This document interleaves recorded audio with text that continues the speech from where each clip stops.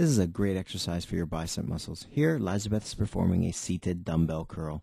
It's very important that you keep your shoulders back and also keep your elbows to your side and also slightly back. That's it, Elizabeth. You can perform this exercise one arm at a time.